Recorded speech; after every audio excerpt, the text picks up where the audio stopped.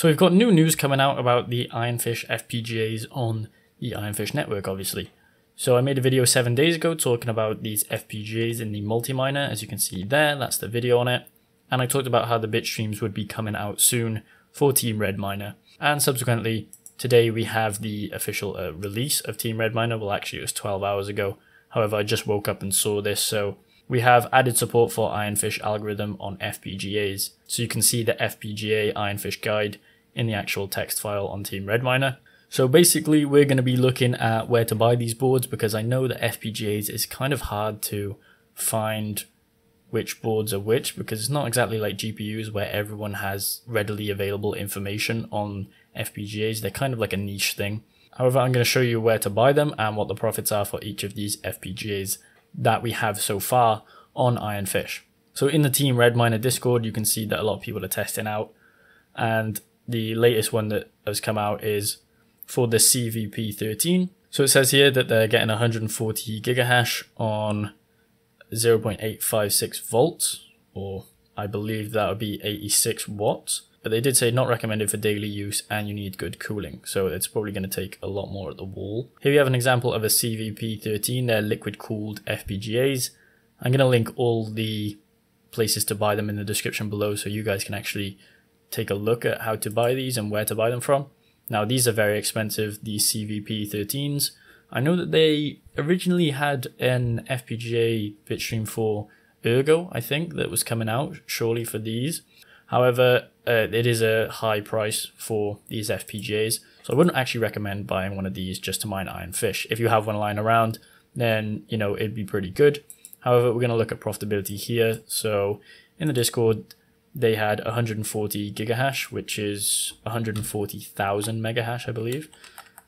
Uh, if we go there, that be 140,000, and they were getting 86 watts, would it have been? If they did the conversion from volts to watts, it would give us 86 watts, I believe. So correct me if I'm wrong, if I just done that calculation completely wrong. I did check it here. However, we're seeing profits of $1.85. Now, Clearly, this is a very expensive FPGA, so it should be pretty efficient. Now, I'm not going to recommend you buy any of them. However, we have others tested here, which could be readily available for you guys. So if we go up, this is a TH53, also known as a VU33P. Now, you can get modified versions of these. This is the Forest Kitten, which is modified to have efficiency boosted with Team Red Miner bitstreams, as it says there. I'm going to link all these in the description below. And there is actually an offer on, I believe, if you buy three of these, you get 20% off the whole thing on coastalcryptomining.com. I don't have any affiliate links. This is just where I'm showing you to buy them. And we have a video from Richard Lowe. I, I believe that he has a bunch of FPGAs. If you want to hit him up, you can buy some from him. So he's getting a gigahash of 39 and a power of 167. So when we take that into the mining calculator, he's getting 39,000 and 167. So way less efficient than the CVP13. However, when we click calculate, we're looking at around 16 cents profit. So not exactly the most profitable, but it's still in the profitable range for you. And I think that these are the least costly FPGA boards. That's why they're, you know, not as efficient as these really expensive ones. I think they set you back. They are charging 997, but that's modified. So I think they sent you back around 800 to $700 per board. Now, this is still profitable. However, we have some other FPGAs that are in here. I believe if we go up, we have the U50C. So for the U50C, I have a link here. This is uh, from AMD. As you can see, these boards are very expensive at around $3,000 per board. Now, I don't know if you can get them cheaper anywhere else. This is from the official AMD website. And when we look at the profitabilities, if we go back here, we're getting 58 gigahash at around 112 watts. So let's take that into the mining calculator. 58,000 at 112 watts. So way more efficient than the VU33P or the Forest Kitten. If we click calculate, we're getting profits around 57 cents per day with a revenue of 86. Now I believe that the minimum payout for Ironfish is something like 10 on pretty much every pool. So you're going to be mining for around uh, 20 days before you actually get a payout of Ironfish from just one of these cards.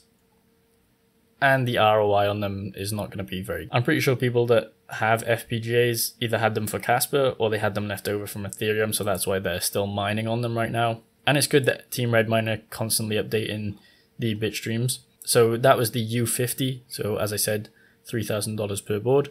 Now moving on to the last one that I saw in this Discord, and this is the C1100.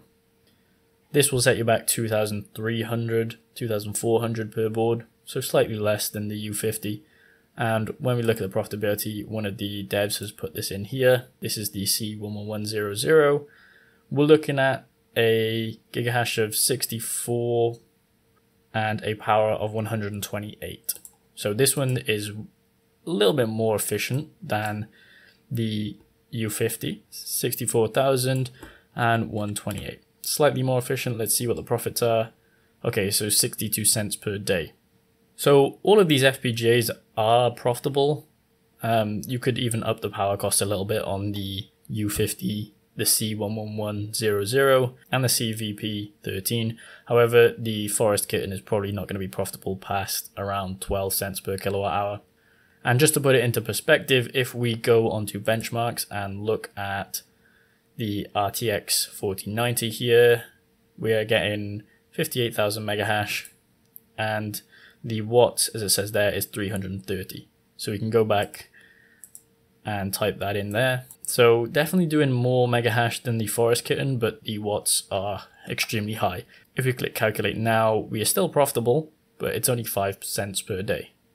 Whereas with the Forest Kitten, it was, I believe, we are at 40,000 and we are at 160, something like that. I So, you know, these FPGAs are probably four times better than the 4090 on Ironfish.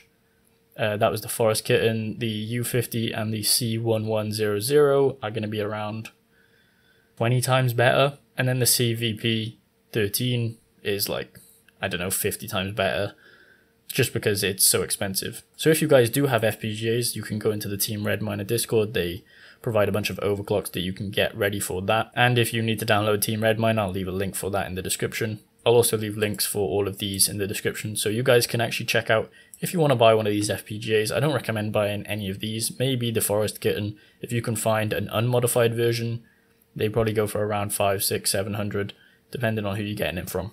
So overall, they are profitable. If you have one, I'd start putting it on Ironfish, and there's probably going to be Radiant Coin bitstreams coming out, so look out for them as well, and possibly Kylacoin bitstreams, because I think Kylacoin is SHA-3, which is ASIC and FPGA like usable. You just need to create bitstreams for it. So keep an eye on the Team Red Miner Discord, and keep an eye on the Team Red Miner GitHub to see if they take new releases for Radiant and Kylacoin. Don't forget to like the video and subscribe for more content like this.